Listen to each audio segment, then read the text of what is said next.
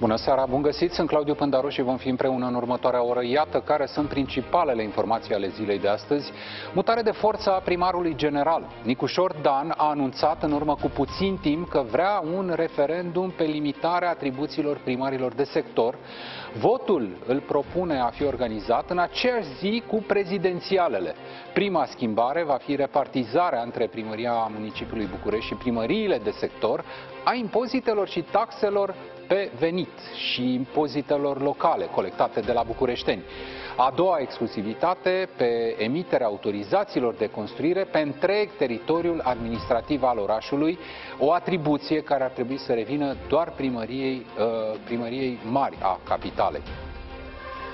Alertă națională după dispariția trei copii la Hunedoara, căutați acum de poliție și jandarmi. Surprinzător e faptul că cei trei frați minori au apărut astăzi într-un clip publicat pe YouTube în care îi transmit un mesaj mamei lor.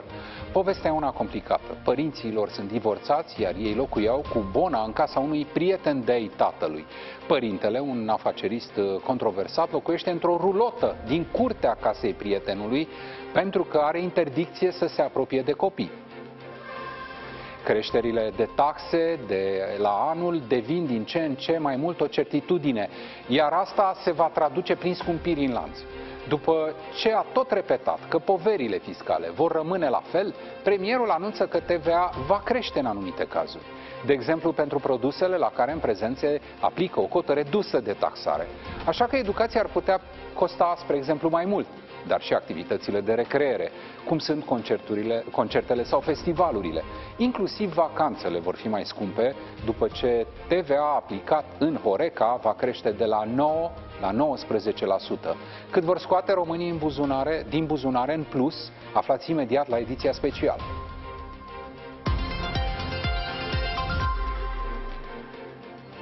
Începem însă dezbaterile din această seară, mai întâi cu informația momentului. Vă spuneam puțin mai devreme, primarul general al capitalei, Nicu Șordan, a anunțat într-o postare pe Facebook, pe care o vedeți chiar acum la televizor, că a convocat ședința de Consiliu General pentru luni 21 octombrie, în care se regăsesc pe ordinea de zi două proiecte privind consultările cetățenilor Bucureștiului prin referendum.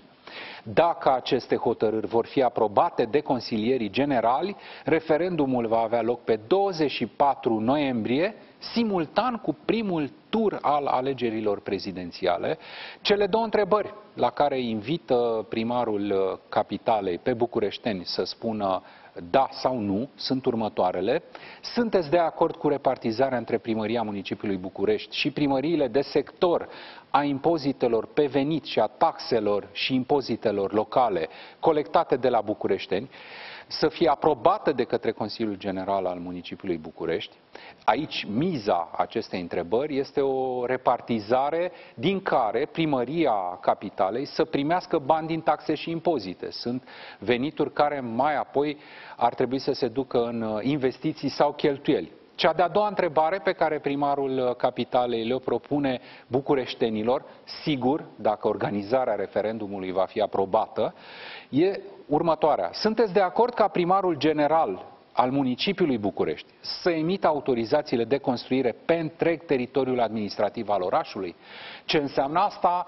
E simplu, acum și primăriile de sector au astfel de atribuții. A fost un război întreg între Nicușor Dan și uh, edili de sector, dar și primării de sector, în primul său mandat, atunci când au obținut în instanță anularea mai multor puzuri, puzuri fără de care nu pot fi acordate autorizații noi de construcție. O să discutăm uh, imediat subiectul cu unul dintre candidații la alegerile prezidențiale. Până atunci, pentru că e foarte important să vedem de unde a plecat această, această acțiune de forță a primarului generalei. Nu, uh, să nu uităm că seara trecută am asistat la niște imagini incredibile în Piața Unirii, în capitală, în centrul capitalei, o confruntare între primăria sectorului 4 și polițiștii locali de la sectorul 4 și polițiștii locali ai municipiului București, conduși de Nicu Șordan. Escavatoarele, le țineți minte, de aseară am transmis imaginile în direct, au încercat să demoleze împrejmuirea pe care o făcuse primăria locală. Miza e reconsolidarea uh, acelei zone despre care primăria sectorului 4 spune că e în pericol iminent să se dărâme. Primăria capitalei așteaptă motivații tehnice mult mai solide pentru a acorda autorizație. Disputa nu s-a încheiat, doar că cele două forțe s-au retras aseară, uh, în special după un îndemn al premierului Marcel Ciolacu. A anunțat uh, seara târziu uh, primarul sectorului 4 că retrage atât gardurile cât și polițiștii locali. Poliția Națională nu a vrut să se implice. Haideți să vedem filmul zilei de ieri și vă spuneam, comentăm imediat cu unul dintre candidații la alegerile prezidențiale.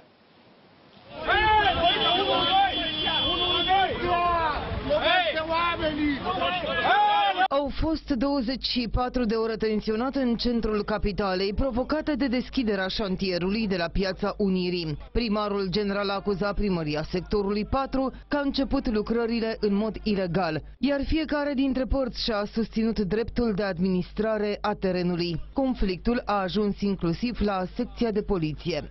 Eu acum sunt la 112. Spre seară, primarul general a venit cu o decizie de desfințare a șantierului, însă s-a lovit, din nou, de opoziția polițiștilor locali de la sectorul 4. Situația a devenit tensionată, iar în urma scandalului, doi dintre angajații primăriei sectorului 4, cu leziuni minore, au avut nevoie de îngrijiri medicale. Ulterior, unul dintre ei a depus plângere penală la poliție, iar un buldozerist a fost pus sub acuzare.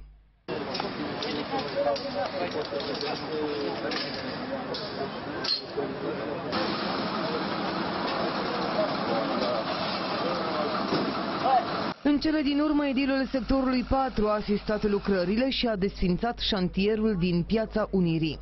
Acesta este mijlocul șantierului deschis de primarul sectorului 4, Daniel Băluță, iar pământul pe care noi mergem a fost pus la loc după ce muncitorii au decopertat tot până ce au ajuns la planșeu. Pe de altă parte, prefectul Capitalei a atacat în instanță decizia lui Nicuș Șordan de desfințare a șantierului. Între timp, războiul edililor a ajuns și la guvern. Primarul general acuză că la mijloc se află, de fapt, interese economice și de de înțeles că miza ar fi banii pentru lucrări alocați de guvern, 750 de milioane de lei.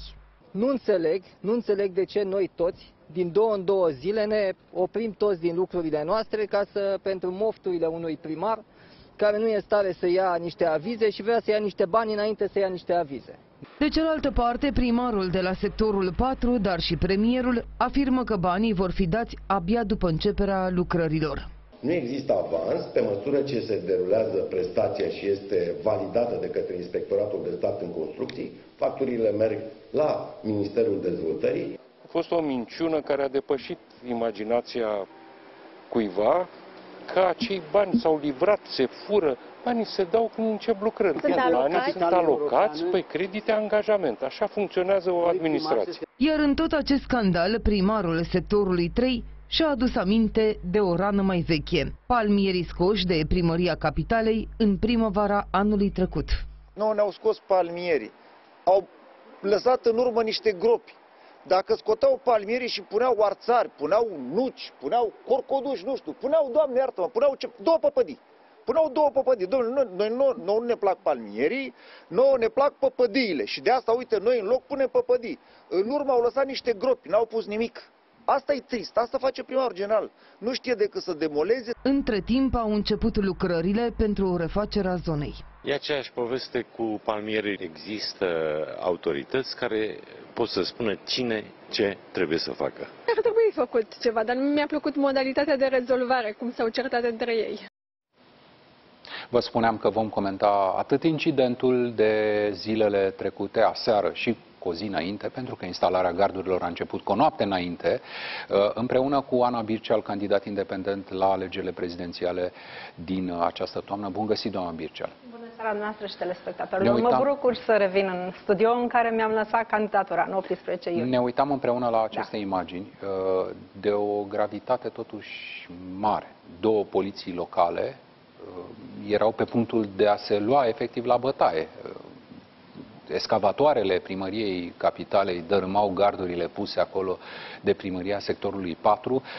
Dincolo de eveniment în sine, nu e tranșată disputa. Da? Înțelegem că vor urma acțiuni în justiție și așa mai departe. Sunt niște autorizații, niște autorizații obținute de primăria sectorului 4, dispoziții date de primarul capitalei, dar faptul în sine că în 2024 două instituții sigur, locale, care ar trebui să apere liniștea, ordinea în zonele pe care le protejează, se înfruntă ca într-un conflict, așa, mafiot mai degrabă.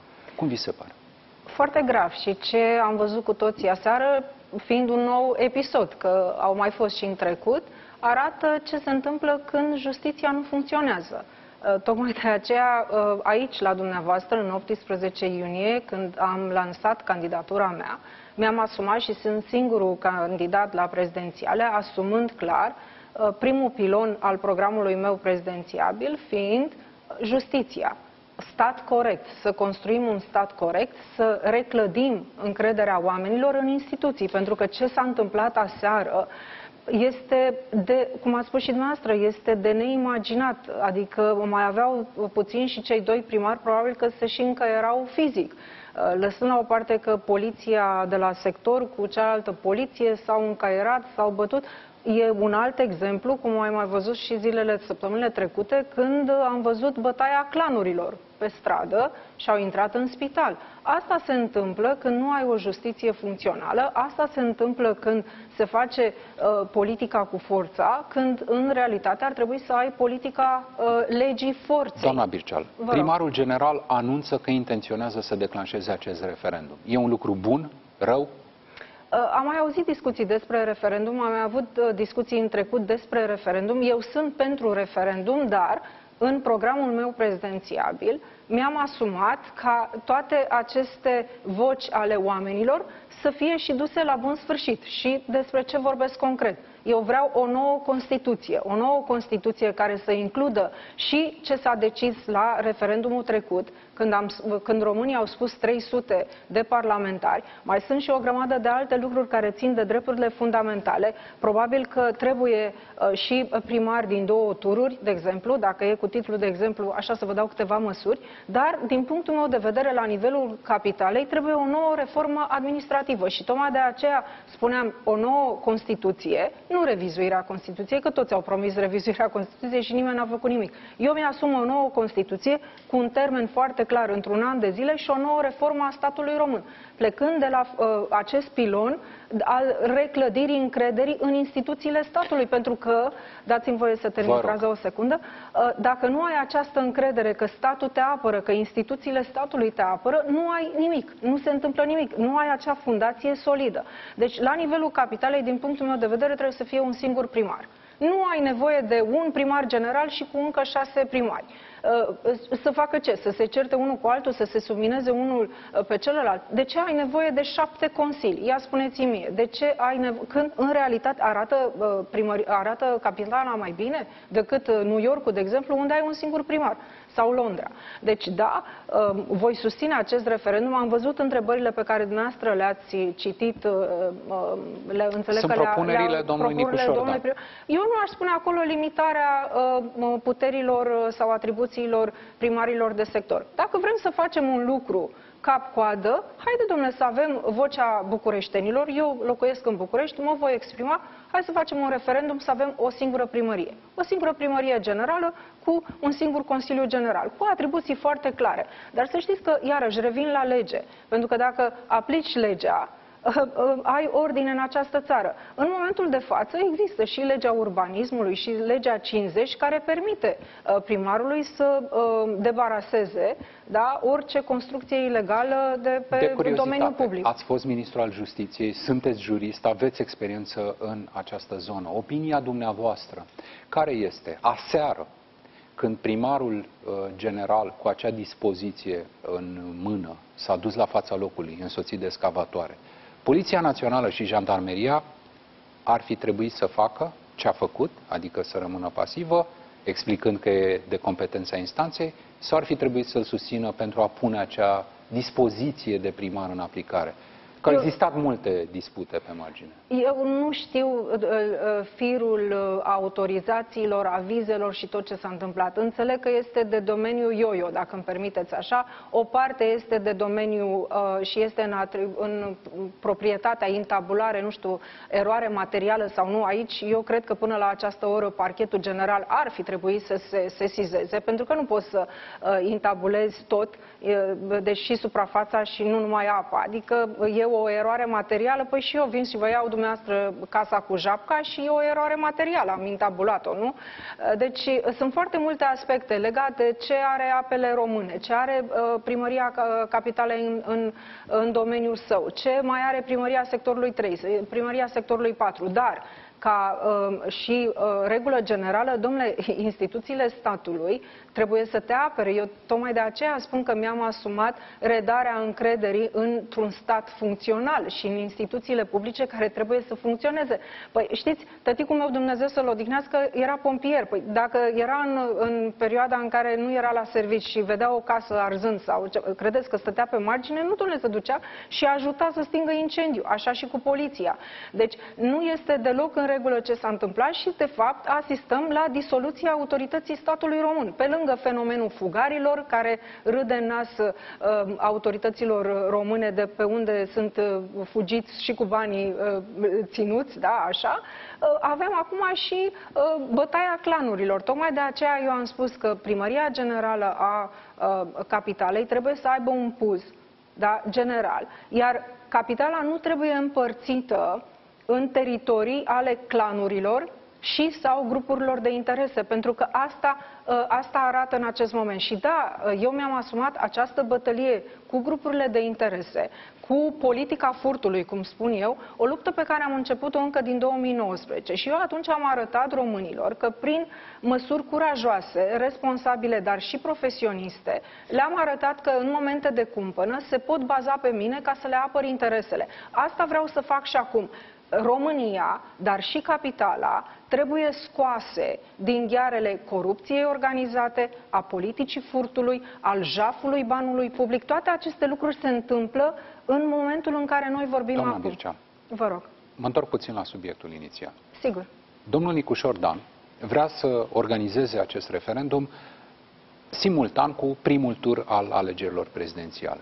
În opinia dumneavoastră, cum va influența, dacă sigur e aprobat referendumul uh, organizat în aceeași zi cu alegerile prezidențiale, primul tur. Sigur că dacă aș fi acum un politician tradițional, aș spune, domnule, vai, o să influențeze, uh, n-ar trebui să fie două subiecte în același timp, pentru că alegerile prezidențiale trebuie să fie de sine uh, stătătoare, etc., etc. Dacă se poate și se pot economisi bani uh, prin organizarea acestui referendum, eu nu văd care este problema, pentru că eu sunt convinsă că oamenii, oricum anul acesta, vor veni la vot și pentru prima dată din 90 încoace, deci după 35 de ani, o să spună adio răului cel mic și o să aleagă binele cel mare. Și asta mă mână pe mine în această bătălie. Da, eu susțin acest referendum, repet, dar nu uh, ca organizare și ca principiu general. Dar din punctul meu de vedere, hai să nu ne prefacem că dacă doar tai câteva atribuții ale unui primar la sectorul 5, uh, după aceea care atribuțiile tai? Adică nu. Mai bine, haide, domnule, să eliminăm uh, primările de sector, facem o treabă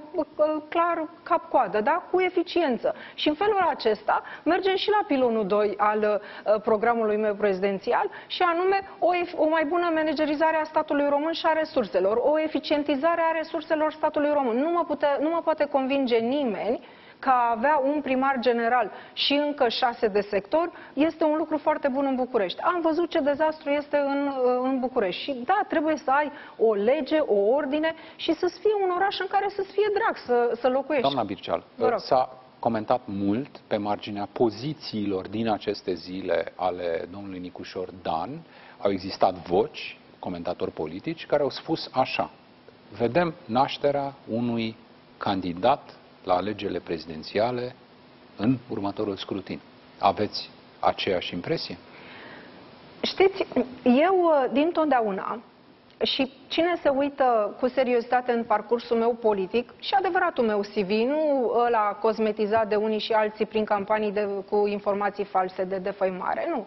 Eu niciodată n-am alergat după funcții. Mie mi se pare normal, domnule, dacă ai candidat la o funcție, dus, domnule, mandatul până la capăt, nu uh, folosești o funcție pentru următoarea funcție ca o trambulină. Să știți că președinția României nu este calificare la locul de muncă. Nu este, îți trebuie să știi diplomație, să ai relații internaționale, să înțelegi orice gest diplomatic. Deci hai să vedem ce o să se întâmple peste 5 ani de zile. Deocamdată trăim într-un haos, într-o țară care este ca capturată de corupția organizată, de politica furtului, de um, politica jafului, cum spun eu, a um, acestor uh, achiziții date cu dedicație. E o țară care este bolnavă de resemnare, pentru că toți oamenii spun, a, domnule, ce să merg eu la alegere acum, că tot aia o să iasă. Nu. Uitați-vă și în ceea ce, și nu mă vait aici, la dumneavoastră, dar mie se pare inadmisibil ca eu să anunț candidatura mea în 18 iunie și foarte puține televiziuni să mă invite tocmai ca să lase românii să audă ce am și eu de spus. Deci, cu alte cuvinte, dacă domnul Nicușor uh, Dan dorește să joace politic, mie mi se pare că este o greșeală. Eu, dacă aș fi acum uh, primarul general al capitalei, m-aș concentra să fac o treabă foarte bună în acest oraș și oamenii vor judeca după fapte. Pentru că, uitați, în 2019, și eu invit pe toți cei care se uită acum la noi, să meargă pe site-ul meu anapreședinte.ro și acolo o să vadă lucrurile pe care eu le-am făcut în 2019. Pentru că eu atunci mi-am asumat prin fapte să fac lucruri. N-am ieșit la televizor să mă dau mare, să umblu așa după, un, uh, după o imagine de PR. Trăim prea mult în, în imagini și în PR-ul acesta și mă uit la contracandidații mei care, cum să vă spun eu, sunt fabricați de consultanții lor, plătiți din bani publici, da? din banii a primit subvenții de la bugetul de stat, din banii celor care se uită acum la noi și în loc să aibă fapte în spate. Deci dacă vrea să candideze, o să vedem peste 5 ani de zi. Vă mulțumim foarte mult și eu pentru vă prezența în această seară. Noi mergem mai departe. O să revenim asupra acestui subiect în uh, cadrul jurnalelor Digi24 de azi. Trecem la un alt uh, subiect care a stârnit uh, mirare în spațiul public astăzi. O răsunare de situație în cazul celor trei copii din Hunedoara, dați dispăruți de bonă și vă avertizez, sunt informații care vă pot afecta emoțional. Copiii apar într-o filmare postată pe rețelele sociale care, în care îi transmit mamei lor că nu vor să fie aduși la ea, mama copiilor. Obținuse în instanță ordin de restricție față de tatăl celor trei frați. Iată mesajul video al celor trei copii pe care am ales să-l difuzăm pentru a ajuta autoritățile la identificarea locului în care se află aceștia. Roxana, degeaba ai pus pe oamenii ăștia să ne, să ne ducă la tine, noi nu vrem la tine. Oamenii ăștia ne-au mințit că ne duce la tati, dar de fapt de, la tine au vrut să ne ducă și suntem bine, oamenii ăștia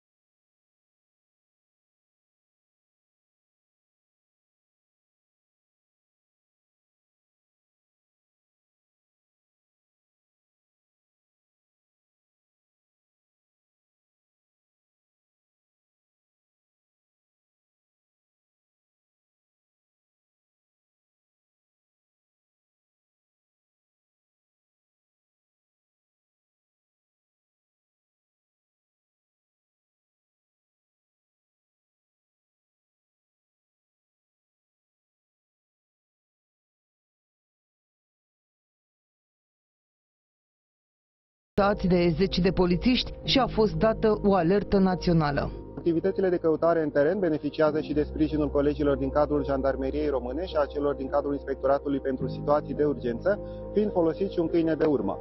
Oamenii legii se folosesc inclusiv de drone în operațiunile de căutare. Între timp, în Hunedoara a ajuns și mama celor trei copii. Femeia locuiește în județul Cluj și nu a vrut să stea de vorbă cu jurnaliștii Digi24. Colega mea, Andreea Georgescu, ne spune cum s-a ajuns în această situație și ce scenarii iau în calcul polițiștii. Haideți să vedem. Afacerea Adrian Marțian și fosta sa parteneră sunt în conflict juridic din 2022. Cei doi și-au făcut reciproc plângeri penale și reclamații în instanța civilă. Drept urmare, în ultimii doi ani, custodia ori domiciliul celor trei minori a fost uh, trecută, au fost trecute pe rând de la unul la altul, conform deciziilor de pe portalul instanțelor. În vară, după încă un episod conflictual, protecția copilului din Hunedoara a încercat să îi preia pe cei trei în plasament, însă decizia nu a putut fi pusă în aplicare, a fost contestată. Însă, ordinul de protecție care îl obliga pe tată să stea la cel puțin 150 de metri distanță de copii, da. Drept urmare, milionarul s-a mutat într-o rulotă în curtea casei prietenului său care îi găzduia copiii în Simeria, iar cei trei erau îngrijiți de o bonă, cea care a și reclamat tatălui dispariția copiilor. Cât privește scenariile și pistele anchetatorilor, polițiștii iau în calcul ca cei mici să fi plecat în semn de protest față de conflictul dintre mamă și tată. O plecare voluntară așadar, însă nu exclud nici implicarea părinților, mai ales având în vedere mesajul celor trei postate în urmă cu scurt timp timp. Fie ca tatăl să-i fi luat și să încerce să însceneze fostei partenere, fie ca acesta să fi fost într-adevăr în spatele dispariției. Și nu în ultimul rând, nu exclud nici varianta unei răpiri pentru răscumpărare. Este anchetă în Călăraș după o descoperire tulburătoare. O adolescentă de 15 ani a fost găsită fără suflare în uh, camera ei. Fata ar fi fost singură acasă și nu există deocamdată suspiciunea de crimă. Vă avertizez, sunt informații cu un impact uh, puternic emoțional. Anchetatorii iau în calcul însă varianta în care adolescenta și-ar fi făcut singur rău, urmând un trend periculos pe rețelele sociale sau din cauza bullyingului. Adolescenta de 15 ani a fost găsită fără suflare în camera ei de două prietene și tatăl uneia dintre ele. Aceștia au sunat imediat la 112. Medicii au încercat minute în șir să o resusciteze, însă fără rezultat.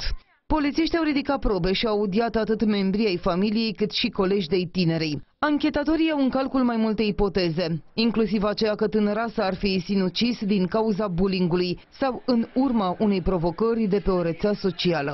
Vorbim despre o moarte suspectă, dată fiind uh, vârsta și um, persoanei decedate și împrejurările în care a intervenit decesul. Pot fi examinate toate pistele și toate împrejurările care ar putea să ofere informații da. relevante. Polițiștii au refăcut pas cu pas traseul fetei.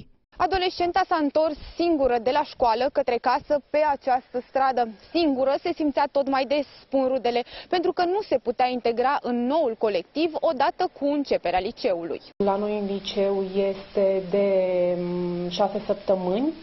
Nimic din comportamentul ei nu a lăsat să se înțeleagă că ar avea vreo problemă emoțională. Din contră, o prezență activă, copil jovial.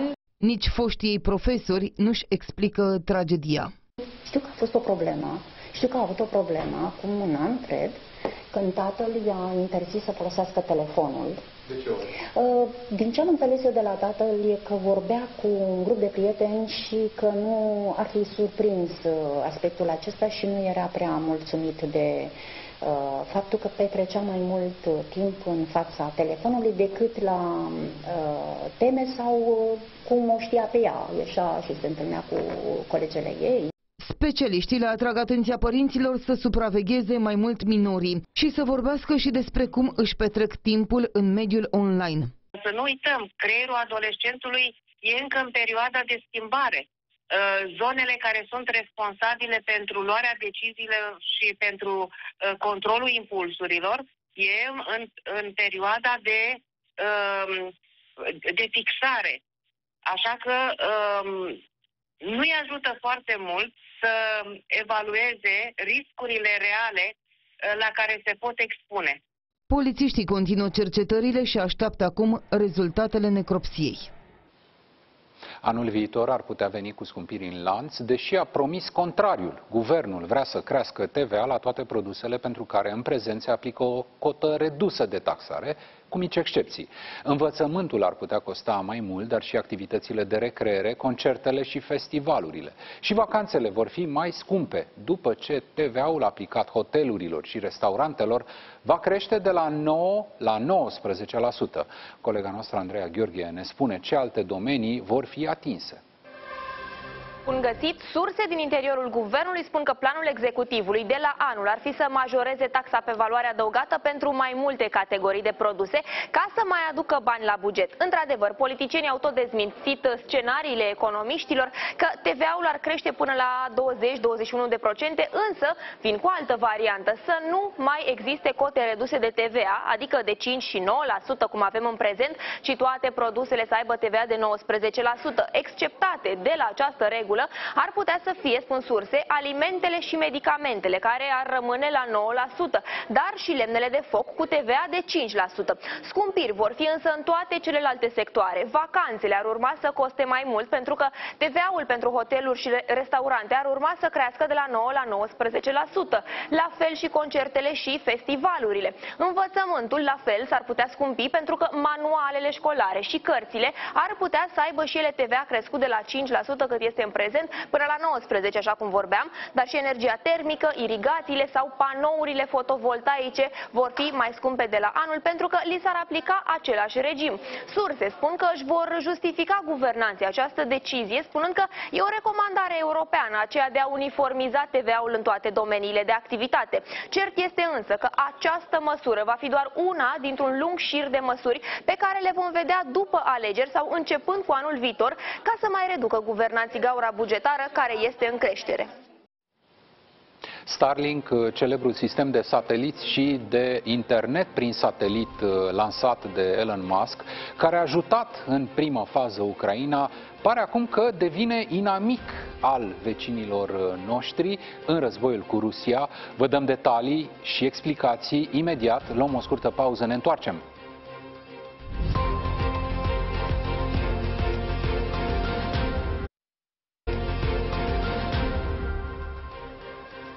Starlink s-a transformat din camaradul Ucrainei în inamicul numărul 1 în luptă. Rușii au apărut pe front cu zeci de dispozitive Starlink pe care le folosesc pentru atacurile cu drone sau să coordoneze militarii.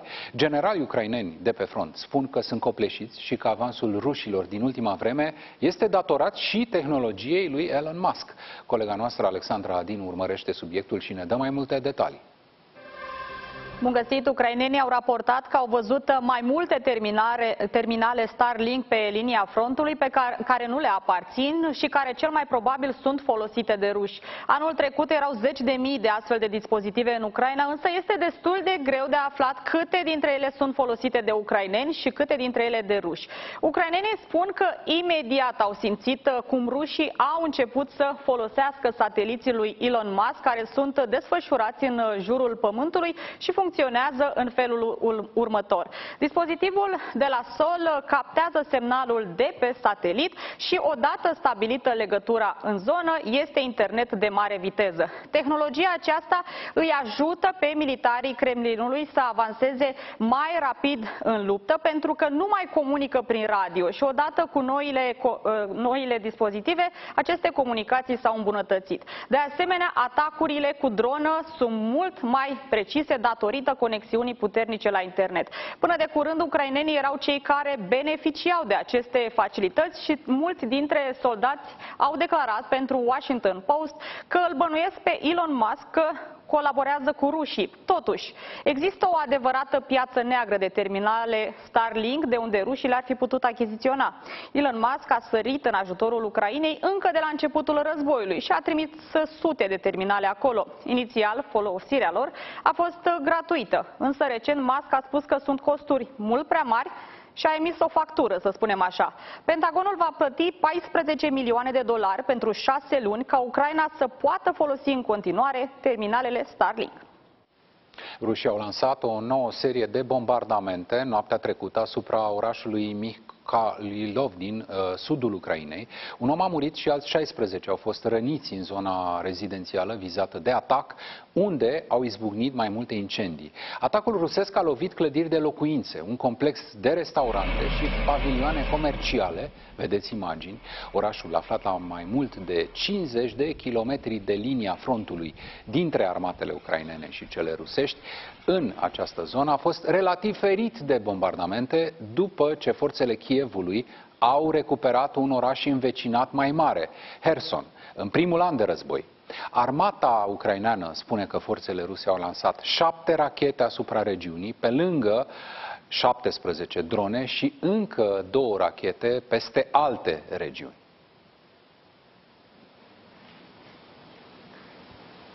Armata are undă verde de la Parlament să cumpere amfibii de luptă 44 de astfel de vehicule americane vor ajunge în România, dublu față de numărul pe care îl plănuia inițial armata României. Achiziția vine în contextul în care Marea Neagră este considerată zonă de securitate strategică pentru NATO, iar forțele navale române nu aveau astfel de vehicule de asalt. Amfibiile sunt echipate cu lansatoare de grenadă și mitralieră, iar achiziția va costa statul român 210 milioane de dolari.